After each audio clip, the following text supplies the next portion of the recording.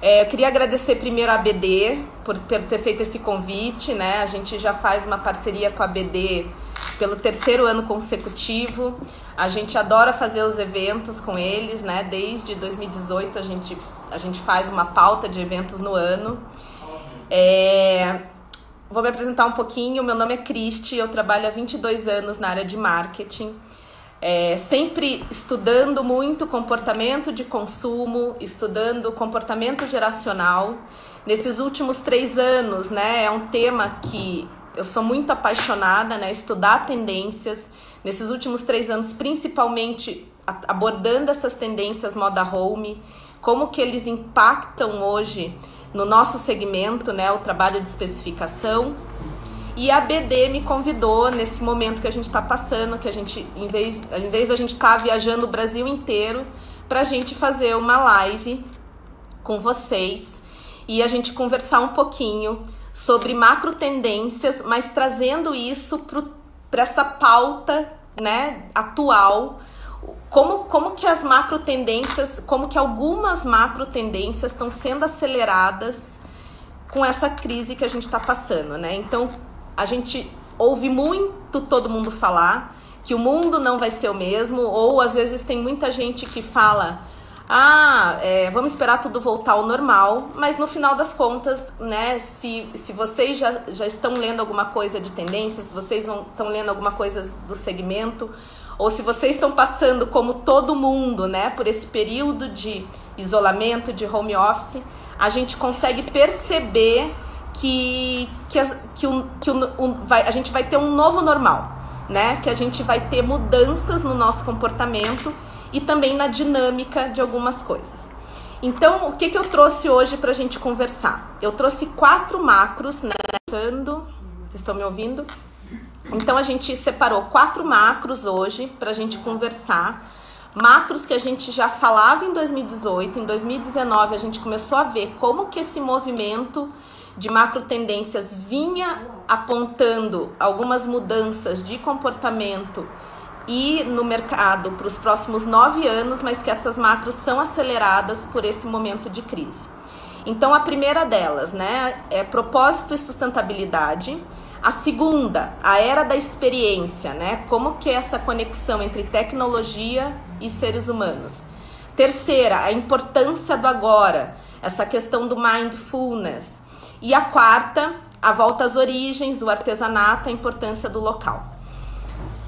Tá entrando um monte de gente, vamos começar então. Então a primeira macro, né? Então o ano passado a gente já falava bastante da importância, principalmente para gerações Y e para geração Z, né? Lembrando que a geração Y, os nascidos a partir dos da década de 80, do ano de 1980, e a geração Z, os nascidos a partir de 95. Então a questão do propósito, né, as marcas serem o que elas realmente de fato falam. Né? Então, você ter uma atitude consistente e essa atitude ser refletida no teu discurso, teu discurso refletir as tuas práticas. Então, esse, essa necessidade das gerações mais novas que era tão latente para gerações mais velhas não tanto, isso passa a ser global. Né? As pessoas estão cobrando posicionamentos é, coerentes das empresas. Não basta a pessoa falar, postar, lave as mãos, se, as, se a própria empresa não está tendo atitudes coerentes com esse discurso. Então, quando tudo isso passa, as pessoas vão ter essa questão do propósito muito mais inserido em suas vidas. Né? Isso significa o que para gente? Isso significa que se você tem um posicionamento, né? Se você tem um trabalho que você é, tem um traço específico, se você tem um comportamento específico, se você trabalha de uma certa forma, é, esse teu nicho de mercado vai pagar por isso, né? Como indústria, a gente fala assim, as pessoas elas vão dar importância a, não, a, a qualidade associada a valor de imagem. Então a gente passa por, um processo de aceleração onde as, as, as gerações mais antigas começam a, a dar foco nisso e olhar para isso de uma outra forma. Uma outra macro que é a questão da sustentabilidade. Né? Então, consciência corporativa, su recursos sustentáveis, você utilizar os recursos de uma forma mais eficiente também começa a ter muito mais importância para todo mundo. Né? Então, por quê? Porque a gente teve uma aceleração por conta do Covid e a gente sabe, a gente está vendo em todos os lugares os impactos que a indústria e que a gente tem no planeta.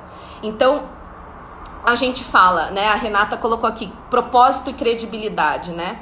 Você tem que ter credibilidade, né? O teu discurso, ele tem que acompanhar o que você faz, né? Então, quando a gente fala de sustentabilidade, as pessoas vão começar a olhar como que você usa os recursos naturais, de onde que vem tua matéria-prima. Isso a gente já vinha falando desde o ano passado e a gente ainda vinha falando que a gente tinha esse universo aí de nove anos para isso ser latente, né? Para isso tomar conta, para isso se consolidar.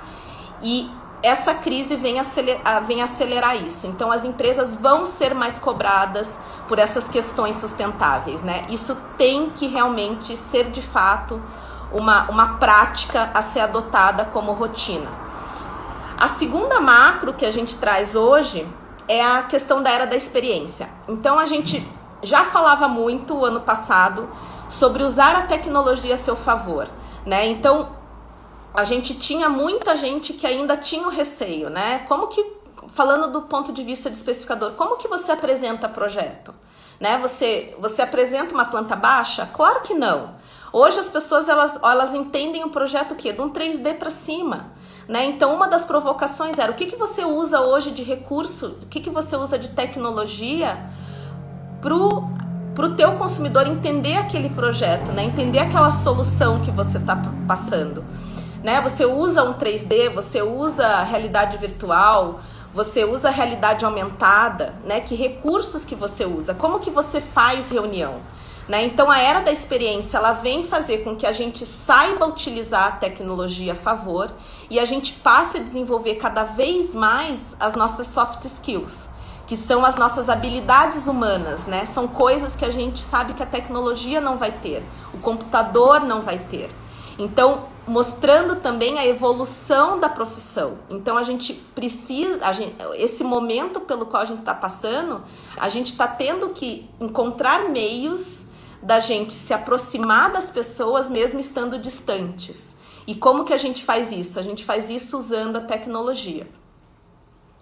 Então, a, essa questão da era da experiência, ela vem muito à tona e ela traz muito essa questão do trabalho remoto né? Que a gente ainda não enxergava isso como algo presente em nossas vidas, mas que agora a gente já consegue enxergar alguns benefícios disso, né? Então a gente não tem grandes, é, a gente não perde tempo com deslocamento, né? Às vezes a gente precisava se deslocar para uma outra cidade. Você sai uma hora antes de casa, fica uma hora no aeroporto, pega um avião, leva mais uma hora para encontrar alguma pessoa para fazer uma reunião. E hoje você consegue fazer isso estando em casa. Então, como que a gente vai usar isso num futuro, quando a gente puder sair de casa de novo, a nosso favor? Né? E como que você traz essa, essa, esse digital, né? esse estar presente digitalmente de uma forma diferente para clientes? A era da experiência também traz muito a questão de momentos presentes serem bem vividos. Né? Então, essa questão que, que eu sempre brincava, né? Qual que é o novo luxo de hoje? O novo luxo é tempo. Porque a gente não tem tempo para fazer tudo o que a gente quer, a gente vinha numa, numa marcha acelerada e a gente foi forçado a desacelerar. Então, o tempo ele continua sendo um recurso nobre. E mais do que nunca, né, por conta dessa, desse isolamento, quando a gente voltar a se reencontrar, a gente vai querer ter experiências boas, a gente vai querer ter momentos juntos e de uma forma especial. Então, essa questão da era da experiência, o viver o agora, eles vêm muito, com muito mais força após esse momento. A terceira macro é a, a, a questão do, da importância do agora, do mindfulness né, e do bem-estar em casa. Então, a gente já vinha falando que o lar é o nosso refúgio. Por quê? Se a gente não tem tempo para fazer nada, se a gente está o tempo todo conectado, se a gente está o tempo todo em reuniões, Se a gente está o tempo todo falando com várias pessoas ao mesmo tempo e a gente tá travando, a Lisiane falou que tá travando aqui. Melhorou? É, alguém me fala se está me ouvindo? Tá ok? Tá tudo certo? Olha aqui a Michelle falando. Lembro disso você falando em uma palestra na Casa Rara. Então tá, gente, vamos continuar. Então, é, quando a gente fala que a gente já vinha falando isso, né? Que o nosso lar é o nosso refúgio, é o momento onde a gente sai daquela rotina louca de mil reuniões, deslocamento para cima e para baixo, fazendo mil reuniões, fazendo mil lives, respondendo e-mail, respondendo WhatsApp, saindo para um lado e para outro. Você chega em casa, você abre a porta e fala: ah, cheguei. É meu momento de paz, né? Agora eu vou poder ter um tempo para mim, para eu fazer as minhas reflexões, para eu voltar um novo dia, para eu recarregar a minha energia e voltar no novo dia com essa energia plena novamente. E aí, do dia para noite, a gente teve que ficar em casa o tempo todo. Então a gente tá aprendendo a reviver a nossa casa, né? Como que a nossa casa, como que é nosso bem-estar em casa, né? Como, como que o, o, o meu escritório ele reflete sobre mim eu ficando o dia inteiro, né? Então, essa semana a gente já fez uma, uma palestra no Instagram da Roca falando sobre neuroarquitetura. Né? Então, como, como que os ambientes influenciam o meu bem-estar? Né? Muitas vezes a gente está perguntando, meu Deus, mas o meu escritório ele não é tão aconchegante quanto eu pensava.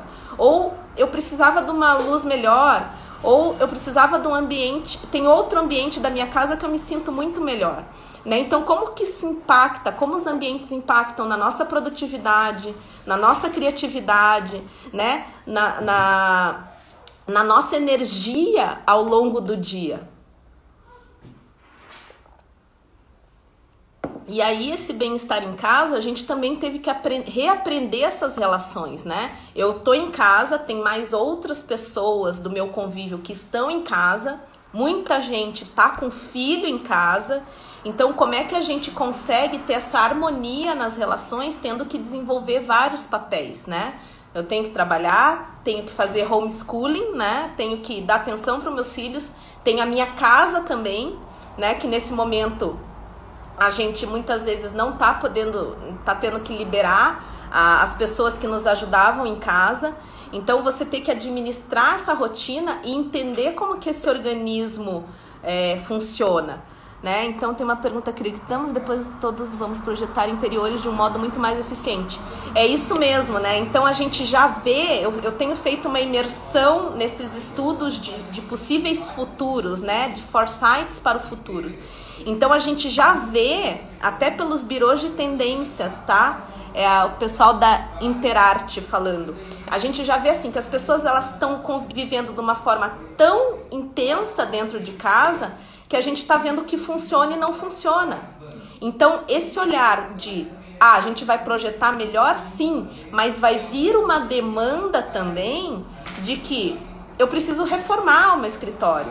Ou eu pensava que esse lugar eu conseguia trabalhar bem porque eu só passava uma hora, uma hora e meia trabalhando nesse local, mas agora eu fico 8, 10 horas sentada nesse espaço e ele não funciona como eu imaginava.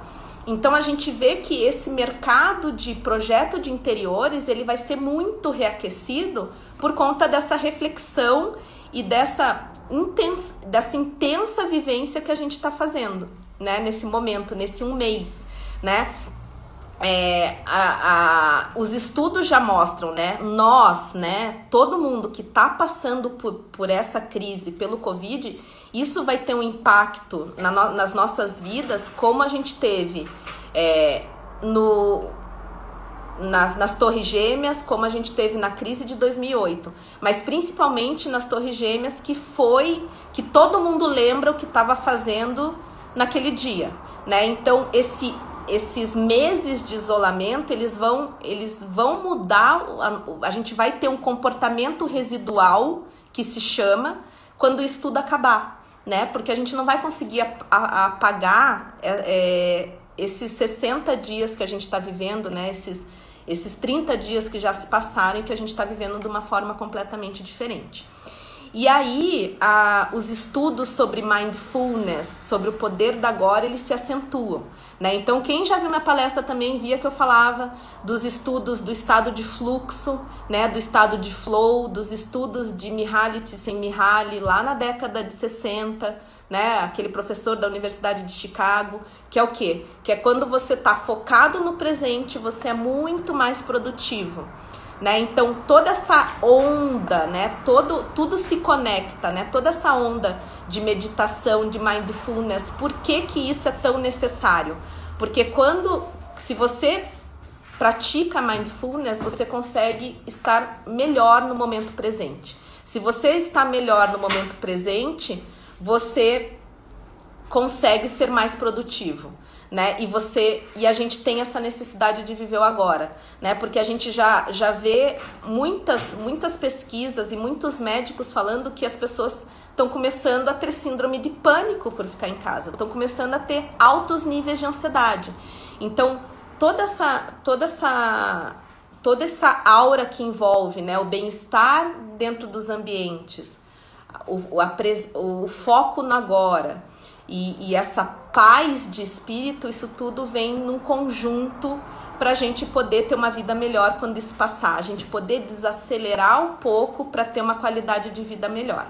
Né? E, e aí, lembrando de bem-estar em casa, o ano passado eu já falava daquela sigla que, que os birôs de tendência estavam falando com muita força, né? Que era o, o mindfulness, né? O, desculpa, o JOMO, né? O Joy of Missing Out. Então o que? Que a gente estava num momento que, que a gente falava tanto de eu quero estar presente, eu quero ser convidado, eu quero estar participando, e em, em outro momento a gente começou a falar assim: não, eu não quero ser convidado. Né? O joy of missing out é o prazer de estar desconectado, o prazer de eu me desconectar, eu poder ficar na minha casa, né? Eu poder ter esse momento longe é, das pessoas para eu poder ter um momento só meu. E aí a gente evolui esse conceito e agora a gente começa a falar de Nixon, né? Que é essa prática de você esvaziar a mente e você não pensar em nada. Então, o que que esse isolamento trouxe pra gente, né? Tava tendo, a gente está tendo uma, um, um, uma inundação de lives, né? A gente está tendo muito conteúdo e agora a gente já está no momento que você fala assim, meu Deus, depois de 10 horas de trabalho, eu quero ficar sem fazer nada. Né? Eu não aguento mais ver conteúdo. Então, a, a, os birôs de tendência já vinham trazendo esse movimento do Nixon, né? N-I-K-S-E-N. É, e, e tem gente que traduz isso como esses movimentos de nadismo, né? De você fazer nada por algum tempo, porque isso é necessário.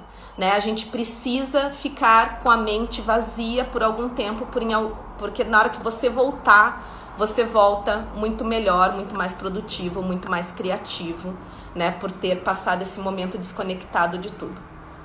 E a quarta macro, então a gente já falou de propósito, sustentabilidade das marcas, a era da experiência, né? Então esse acelerador que une é, habilidades humanas com tecnologia, a gente saber usar a tecnologia a nosso favor. O terceiro, a questão do bem-estar em casa, a importância do agora, o mindfulness, a importância da neurociência aliada à arquitetura, né? Como que a gente trabalha as emoções de uma forma melhor dentro de casa, é, qual o projeto. É, e agora a gente entra na quarta, que é essa questão da volta às origens, é, a diversidade, a humanização. Só vou responder uma pergunta da Cíntia, que ela está falando qual que é o nome do primeiro movimento. está falando do JOMO, Cíntia, J-O-M-O, que é uma sigla, na verdade. É Joy of Missing Out né? O prazer de você estar conectado. Eu vou pedir para alguém da minha equipe que já já está acostumado com o Jomo para escrever aí. A Laura escreve para mim Joy of Missing Out. Pra, acho que é esse que você perguntou. E o segundo é o Nixon, né? Que é essa essa ampliação de você fazer nada por algum tempo, tá? Então vamos para a quarta. A quarta é a questão da que a gente já vinha falando da volta às origens. O que que isso diz? Isso que queria dizer, né? Quando a gente conversava sobre isso ano passado. Da importância do artesanato, a importância da origem local, do consumo local, né? Você comprar de, de artesãos locais. E isso a gente vê muito claro hoje, né? Então, o que, que a gente vê no mercado hoje, né? Qualquer um de nós que está aqui.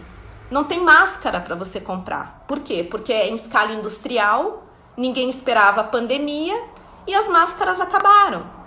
Então, o que, que a gente, inconscientemente, a gente foi fazer? A gente foi falar com quem? A gente foi falar com a costureira da vizinhança ou com algum grupo de costura que alguém conhecia e a gente começou a comprar as máscaras de tecidos, as máscaras feitas à mão, né? Então, o feito à mão, ele, ele ganha uma, um, um foco gigantesco do dia para noite, né? E isso vai ficar, porque a gente vai ver que, aí, que isso, o que que acontece? A gente já vinha falando que o artesanato é uma das principais fontes de renda em países subdesenvolvidos, né? É um mercado que movimenta mais de 22 bilhões de dólares e a gente já projetava um crescimento do artesanato no mundo por conta dessa questão de você dar valor às tuas origens, de você dar valor às tuas raízes, né? A tua história. Então, o artesanato agora ele teve esse impulsionador, né? Então, é o artesanato também fazendo esse link com arte, né? O artesanato se tornando um trabalho nobre feito à mão, né? A, o artesanato e a arte se entrelaçando. Então a gente vê que isso era uma perspectiva de crescimento para oito, nove anos e a gente vê isso acelerando para um ano, né? Que isso vai explodir. Aliado ao feito à mão, a gente vê essa questão da diversidade. Né? Então a gente já vinha falando também que a geração Y era a geração é a geração mais diversa da história. A gente nunca teve uma, uma geração tão diversa, né? Uma geração que a gente é, tem consciência que a gente veio do continente africano, que o, que, que o continente africano é o berço da civilização, que isso trazia várias vertentes, né? Quando a gente fala de mídia, de cinema, de TV, de, de, de de, de moda, né? A gente já vinha falando disso e agora a gente vê um inimigo comum, né? Um inimigo que, que extrapola fronteiras, um inimigo que é o mesmo para todo mundo, independente de cor, credo, raça, sexualidade, independente de qualquer coisa.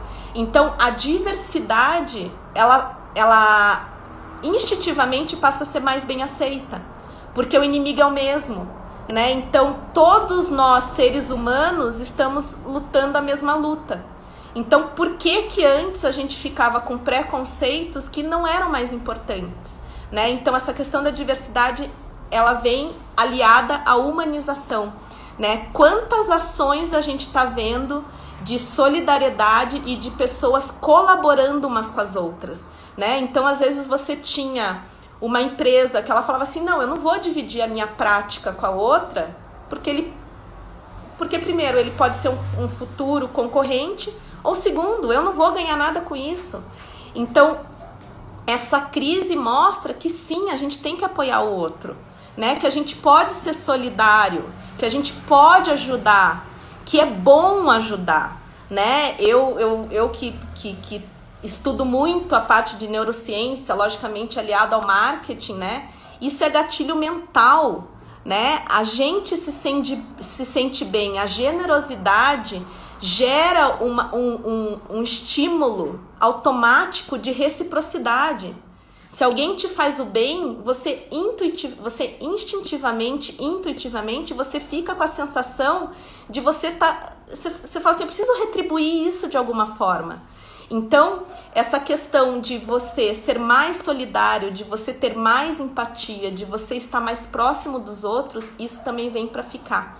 Né? Então, é, essa crise essa, é, ela acelera muito esse lado humano que a gente vinha falando e que as pessoas muitas vezes falavam assim: ah, eu não percebia, né? A, a Vilar Vera aqui falou cortesia gera cortesia. Exatamente né? Isso é humano, né? Isso é inconsciente nosso, Né? Isso está dentro do nosso cérebro, na parte que a gente chama do, do, sistema límbico, né? que é onde estão nossas emoções. Isso faz parte da nossa natureza humana. E a gente precisou parar, né? sair daquela, daquele ritmo frenético que a gente tinha, para a gente observar e sentir a necessidade de fazer isso. Porque agora a gente está sozinho, a gente está vendo todo mundo através de uma tela. Então, isso aflorou nossos sentidos, né? Aflorou a necessidade da gente colaborar. Então, gente, eram essas quatro grande, grandes macros que a gente queria dividir com vocês hoje. Né? Então, para quem entrou depois e perdeu algum ponto, algum ponto, e aí a gente vai para as perguntas, é, qual que foi a primeira que a gente falou hoje? Propósito e sustentabilidade, tá? Para quem não entrou no começo, a gente vai deixar gravada. A live fica aqui 24 horas, tá? No perfil da BD e depois parece que eles vão fazer o download dela. Então, a primeira, propósito e sustentabilidade, a importância das marcas e olharem para isso e também de nós como profissionais pensarmos nisso, né? Qual que é o nosso propósito? né? O que que eu estou fazendo? Eu acredito no que eu estou fazendo. A minha atitude reflete o que eu acredito, né? É, aqui colocou a Kátia, é o resgate dos, dos sentimentos genuínos, isso mesmo. É, a segunda, a era da experiência. O nosso lado humano, as nossas soft skills, né? A, a aliada à tecnologia, né? Então, é, essa, essa segunda, só mais um adendo, né? Quando a gente fala da era feminina, né? A gente está falando tudo isso, das emoções, de você ter mais o, o, você ter o sentimento por trás, né? Você ter essa intuição te, te, te dando recurso aliado a uma experiência, né? Então, você ter essa sensibilidade de entender o que está acontecendo à sua volta. Então, segundo, era da experiência humana e tecnologia unidos para a gente resolver algum problema. Terceiro, a importância da agora, o mindfulness, o bem-estar em casa, a sigla lá, o JOMO, que a gente já vinha falando, e o Nixon, que é essa capacidade de você ficar um tempo sem fazer nada. E a questão da neurociência dentro de casa, né? A neuroarquitetura, né? Como que os ambientes afetam as suas emoções. E por último, a volta às origens, o artesanato, o feito à mão, a diversidade e essa, esse lado de humanidade sendo aflorado, de solidariedade sendo, sendo colocado em cena. Então eu queria agora abrir, a gente está falando aí para, já falou uns 30 minutinhos, eu queria abrir para perguntas. Queria ver o que, que vocês queriam falar. Enquanto vocês pensam aí nas perguntas, é, eu vou aproveitar para a gente falar que a gente está fazendo parcerias com várias, com várias entidades de classe. A gente também está tá falando muito de, desenvolver, de, de, de disponibilizar conteúdo relevante né? Então é a gente a gente está pensando muito no que a gente vai trazer para as lives com vocês, para ser conteúdo relevante, né? Não ser mais do mesmo, para a gente ter algo que vocês consigam refletir depois e que vocês possam usar isso depois. E a gente está também oferecendo uma série de ferramentas né, no nosso site, no nosso Instagram. Se vocês derem uma, um, um overview nos últimos posts, a gente vai ver que a gente está com uma hashtag do Projeto Não Para porque a gente sabe que todo mundo tem que ficar em casa, então é o momento da gente pensar no projeto, né? Então a gente vê que os especificadores, que arquitetos, design interior, está todo mundo aproveitando esse momento para pensar em projeto. Para na hora que a gente puder voltar para a obra, na hora que puder voltar para desenvolver para a rua, o projeto já esteja pronto, né? Então é uma, uma parte para refletir sobre isso, esse momento. Vamos lá. Vamos ver o que que. Obrigada, Lucas. Que bom que você gostou. Não entendi a sua pergunta, Tinina. Cíntia, essa perspectiva de que as pessoas vão segurar os gastos pela instabilidade da economia, como poderá afetar nosso mercado? Então, Cíntia, o que, que a gente vê? Isso a gente entende que é algo de, de curto e médio prazo. né? Porque a gente está tendo várias ações econômicas ah, sendo tomadas ao longo, junto com saúde, junto com tecnologia, junto com pesquisa. Né? Então, assim, a gente está passando por um momento de instabilidade, a gente tem várias é, ações, né? Vamos falar de Brasil sendo tomadas, né? Então, algumas reduções, né? Grandes empresas podendo reduzir jornada, podendo reduzir salário, mas junto com essa redução, passado isso, vem um período de estabilidade, né? Então, o que, que a gente entende? Que no momento 2, pode ser que as pessoas, no primeiro momento, assim, ah, em vez de eu trocar de casa, eu não vou trocar nesse primeiro momento, mas eu vou reformar. Então, a, existe um primeiro problema econômico, uma, primeiro, é, uma primeira preocupação econômica, mas passado esse pico da curva que a gente já vem, já, já percebe que isso vem se aproximando, quando a curva começa a baixar, a gente já vê as, as pessoas voltando a, a, a movimentar a economia. Né? Eu li até uma matéria ontem que a China voltou a abrir as lojas e eles bateram recordes históricos de vendas. Então, assim, é, as pessoas estavam lá em casa segurando para não comprar, quando elas puderam, elas foram e elas voltaram a fazer a economia girar. Você acredita que estamos passando por um portal que separava o mundo mecânico analógico para o mundo digital? Olha, não sei se é um portal, mas eu acredito muito que a gente já vinha tendo vários sinais. Quem que perguntou aqui? Deixa eu só ver. O GDI online. É, a gente já vinha tendo vários sinais, né? Essa tecnologia que a gente está usando hoje, ela já está pronta há algum tempo, né? Então, assim, a gente já tem uma tecnologia pronta para ter trabalho remoto há no mínimo uns 10 anos. Né? A gente já tem essas práticas em outras culturas, né? As startups, elas trabalham faz muito tempo, né? Em 2010, eu trabalhei numa startup que estava vindo para o Brasil e a gente já trabalhava com o conceito de inside sales, né? Que mostrava que as pessoas eram mais produtivas no inside sales, que é uma venda consultiva que você pode fazer tudo remotamente por vídeo, por telefone. Então, assim, há 10 anos atrás. Só que a gente estava tão acostumado em estar tá presencial, em ter essa rotina insana, pegar dois aviões por dia, três aviões por dia para fazer uma reunião de meia hora e voltar. E para a gente funcionava, né? Então, é... se portal ou não, não sei. Mas eu acho que é um, é um, é um, um grande clique que a gente teve que mudar a nossa forma de enxergar as coisas e a gente teve que aprender em uma semana o que estava disponível há 10 anos no mercado para a gente usar. Então, essa é a minha opinião. De fato, estamos passando para um novo mundo de modo absoluto. É, o que, que eu posso te dizer? Eu, eu estudo muito, né, essa questão de tendências, essas movimentações, né? Então, assim, tendência é algo que, que ela se constrói, né? Quando a gente fala de tendência, não é moda, né? É algo que vem se construindo por uma mudança de comportamento que ela passa é, por, pelas novas gerações que vão levantando novas bandeiras por novos comportamentos, por novas necessidades.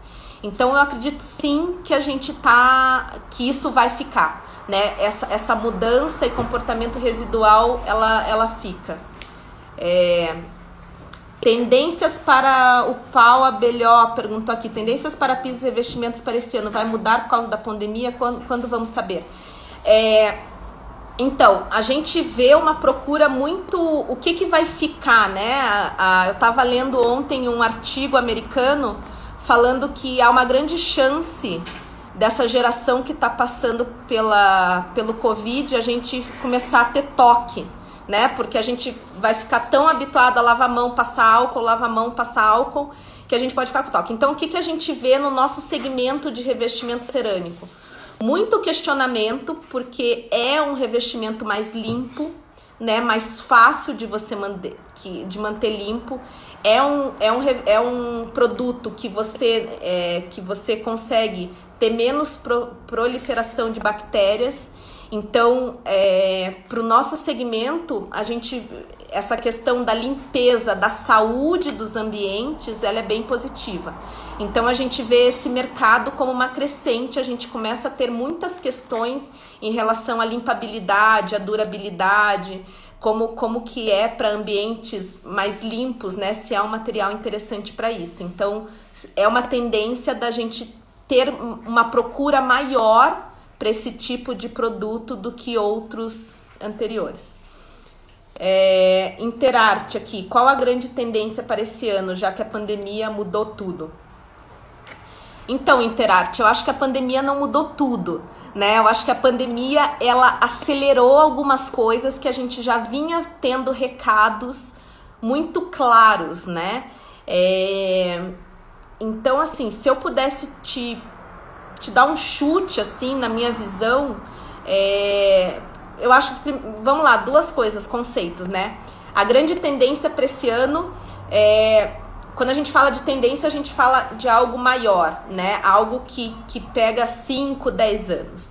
Então, o que que eu, se eu pudesse apostar numa mudança para esse ano, porque você está me perguntando de mudança, é, no nosso segmento, a gente adora muito fazer evento, né? A gente adora um coquetel, adora uma confraternização. Então, eu acho que a gente vai ter que aprender. Eu acho que a grande mudança para esse ano é a gente se encontrar mais virtualmente, né? A gente poder ter conteúdo, dividir conteúdo, dividir conversas, entrar numa sala de bate-papo, cada um na sua cidade, cada um no seu escritório, trocar ideias, dar risada, se divertir é, e, e, e, poder trocar experiências, compartilhar melhores práticas, né? Se ajudar, eu acho que é isso. E, e eu acho que essa, essa questão que a gente. que eu já, eu já falo isso há algum tempo, sabe? Que a gente vive na era do compartilhamento e tem gente que insiste em achar que a gente não precisa compartilhar. Então, eu acho que essa é uma grande mudança que a gente vê. Se, se a gente compartilha, a gente fica mais forte, a gente vai mais longe. Eu acho que essa é a grande é o grande ponto que a pandemia muda. que mais? Vamos lá, anotando tudo. Mais alguma que eu perdi? Aqui, quando você fala em reforma, em retomada das origens, isso irá refletir na forma com que as pessoas olham para o celular, passem a cuidar mais? É, TIJ representações. Então, quando a gente fala de volta às origens, a gente está falando de um lar afetivo. Né? Então, é, a gente tem muito isso de. É, o ano passado, na Feira de Milão, do, do, no Fore Salone em Milão, ano passado, a Gucci abra, abraçou de uma forma muito muito autêntica essa bandeira, né? Da casa da vovó, né? Então ela trouxe todos esses elementos afetivos de casa de vó para dentro de uma, de uma moda home da Gucci. Então, quando eu falo de volta às origens, é, que algum tempo, né? Hoje eu não trouxe isso para cá para a gente poder conversar mais com vocês, para vocês poderem levantar as questões, mas é, a gente passou por um momento que a gente tinha aquele, aquela casa de revista, né? Que todo mundo queria ter a casa de capa de revista, aquela casa impecável, toda clean, sem nenhuma sujeira, né? Aquele design impecável. A gente continua falando de design mas hoje a gente preza conforto, né? Todo mundo passou a perceber que a casa de revista ela não é aconchegante, né? Então a gente quer um lar aconchegante, a gente quer aquele sofá gostoso. A gente não quer design só por design, a gente quer o design confortável. E quando a gente fala de volta às origens, a gente está falando daquilo que nos traz boas memórias, né? Quando a gente fala de lar afetivo, quando a gente fala de ambientes que, que, que reflitam de uma forma interessante sobre o nosso sentido, sobre o nosso bem-estar, a gente está falando de, de, de bem-estar mesmo, né? De bons momentos. Então, tudo isso também é físico, né? Tudo isso é cerebral. A gente, a gente muitas vezes a gente vai para um ambiente e você não se sente bem, né? E você não consegue identificar por quê. Em outros momentos, não. Você vai para uma, uma sala às vezes da casa de um amigo, você fala: Meu Deus, eu me sinto tão bem aqui, por quê? Porque é aconchegante, porque te traz boas, boas memórias, porque te dá boas sensações. Então a volta às origens é isso. O que, que te faz bem? Né? O que, que você tem de memórias? O que, que, você, o que, o que, que essas memórias afloram de sentimentos?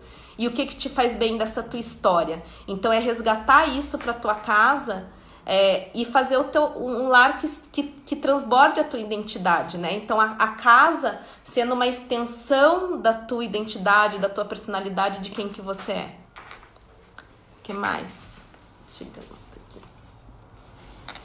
É, a Débora. Ideias para prospectar clientes. Moro no interior e os projetos parados.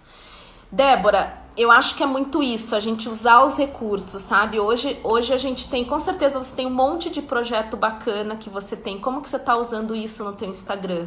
Entendeu? Como que você está contando essa história desses projetos que você fez? O ano passado eu brincava muito, né? E vocês davam risada quando eu falava assim: gente, vocês, o futuro de vocês é serem psicólogos, é entender de gente para projetar.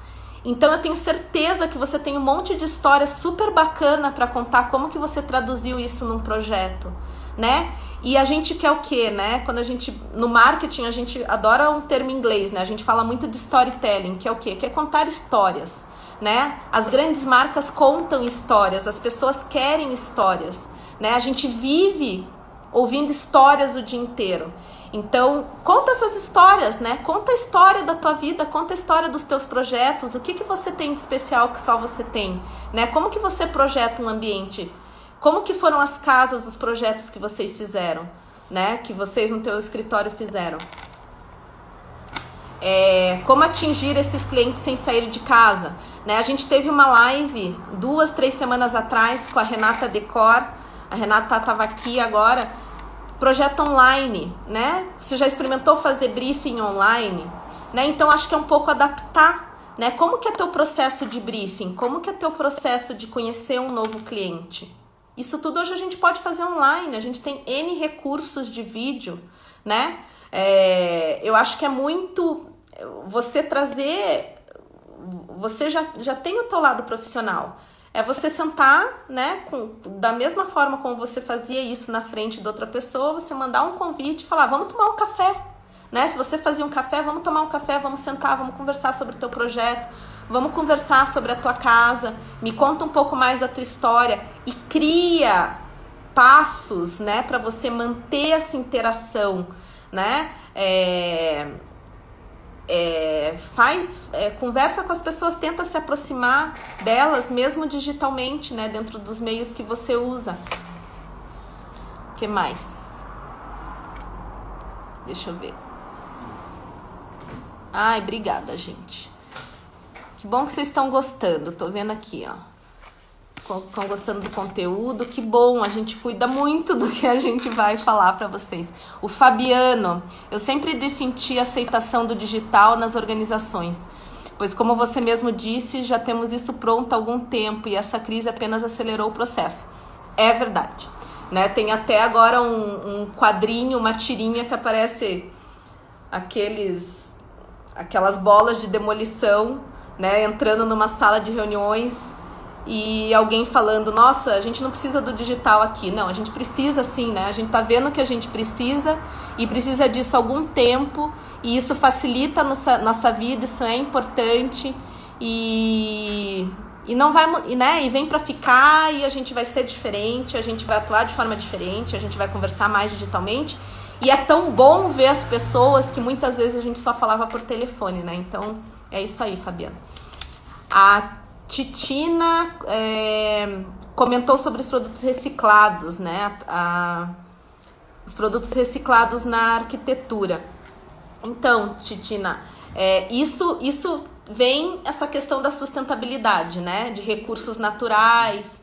Então, essa é uma preocupação que a gente na Roca, a gente já tem faz tempo, né? Então, a reutilização de, todo, de todos os materiais que, que, que, que não são aproveitados durante a, a linha Fabril, a gente usa isso.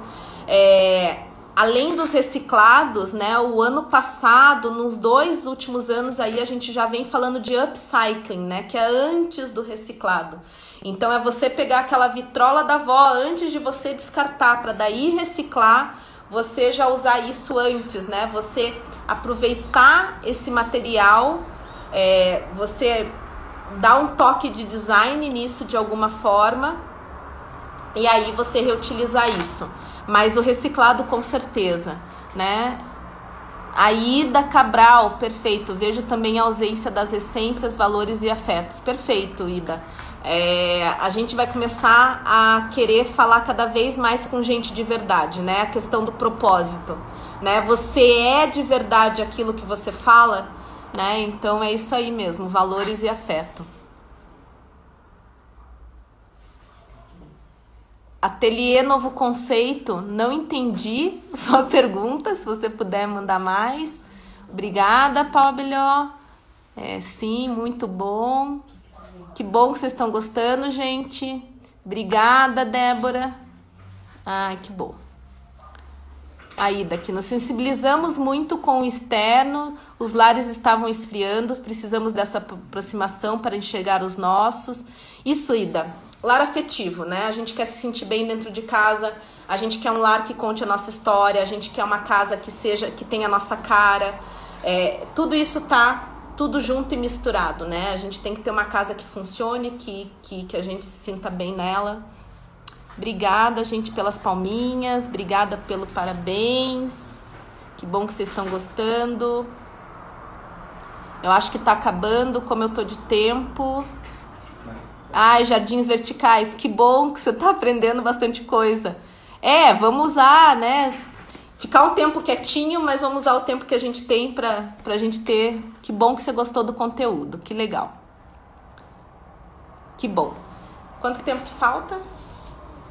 Vamos ver quanto tempo mais que a gente tem. 12 minutos. 12 minutos. Gente, então, se vocês quiserem mandar mais uma pergunta, eu vou esperar aqui. A gente tem mais uns 10 minutinhos para terminar a live. Para quem chegou no final, é, a gente vai fazer mais uma live sobre esses assuntos, sobre esses temas na segunda-feira, no Insta da Roca. Se alguém quiser seguir.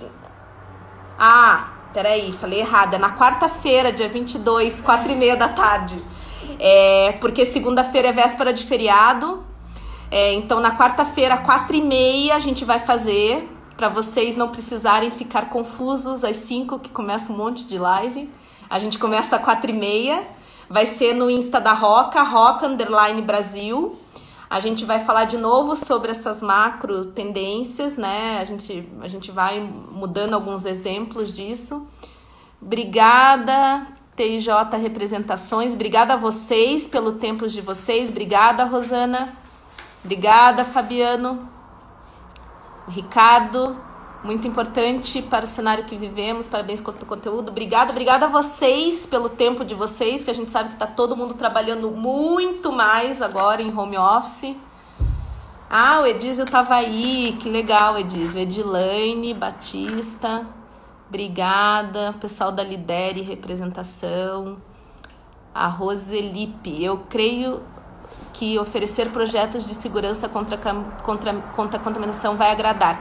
Vai agradar, né? A gente tem que pensar, é, quem trabalha com projeto de interiores tem que pensar muito nessa questão de higiene, né? As casas vão mudar, né? É, obrigada, Douglas. Ah, lidere. Obrigada, querido. Adorei, agregou muito. Obrigada, Gláucia. Obrigada, Gustavo. Então, agora eu estava lendo ali que ela. Falaram, ah, a gente vai ter que pensar em projetos né, com higiene. É, a Débora, que está aqui também, falou, me mandou um artigo esse final de semana, né? Que ela nem sabe que eu fico estudando, lendo e, e, e lendo, lendo, lendo, pesquisando um monte de coisa. Que as casas vão mudar sim, né? A gente já vê é, nas casas americanas, na América do Norte, né? Estados Unidos, Canadá, a gente vê muito aquela muddy room né? Que é aquele closet na entrada onde as pessoas deixam sapato, casaco. É possível que a nossa arquitetura sofra algum impacto nisso, né? Porque as pessoas estão pensando em deixar a casa limpa, deixar a sujeira de fora para fora. Então, com certeza a gente vai ter adaptação nos projetos. As pessoas vão começar a querer um cantinho para para para falar, para deixar tudo sujo. Para deixar que do com o tema de inside sales. Ah, o Paulo Abelhó falando para a gente falar de inside sales. Inside sales é algo que as startups usam muito e funciona muito na Europa, funciona muito nos Estados Unidos. A gente, por ser um país tropical, né, a gente tem a, a gente tinha aquela velha imagem que não, eu preciso ir lá na frente do cliente para negociar. Precisa mesmo com que frequência? Né? Porque se você tem um inside sales, você é muito mais produtivo, né? Nessa startup que eu trabalhei de 2010 a 2012, a, a gente trabalhava com inside sales, então a exigência de produ a produtividade é muito maior. O número de contratos que você consegue ao final de um mês é muito maior. E essa é a prática até hoje de várias startups. Então, assim, você tem visita presencial sim, mas ela é muito bem selecionada, né? O cliente tem que ser um AA, né? Muito grande para você é, ir com isso. É, então a gente tem que se reinventar. Isso vale para todo mundo aqui que é empresário, que tem escritório de arquitetura, escritório de design interiores, né? Como que você torna a tua equipe inside sales também, né? Como que você otimiza essas suas etapas do projeto para tornar a tua equipe mais produtiva? Isso aí, Roseli, segurança será fundamental. O Omar tá aqui também. Obrigado, Omar. Acho que é isso né? Vamos fechar, gente. Já tá dando uma hora antes que o Insta derrube a gente. Queria agradecer muito essa uma horinha que a gente ficou conversando aqui. Obrigada por terem ficado esse tempo com a gente. Obrigada por terem participado. Quarta-feira a gente tá de novo daí no Insta da Roca com mais um bate-papo que nem esse, falando sobre essas macros que a crise vem acelerar. Quem quiser é, pode mandar pergunta lá no Insta da Roca que, uh, que eu respondo, tá? Se quiser passar e-mail, se quiser uh, conversar, fazer uma live. A gente tá com essa hashtag O Projeto Não Para, querendo contribuir, colaborar e somar com todo mundo, tá? Agradeço.